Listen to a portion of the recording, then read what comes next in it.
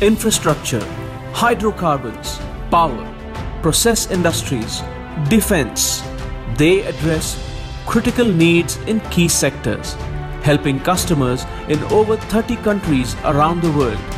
Theirs is a first of its kind project to light up the remotest corner, be it lead acid batteries, be it solar power, be it systems created to accommodate future anticipated grid expansion. They believe in robust energy infrastructure, geared on to help villages improve their system reliability. They span the entire spectrum of design to deliver. The ISGF Platinum Award 2018 for Best Rural Electrification Projects by Industry goes to Larsen and Toubro Limited.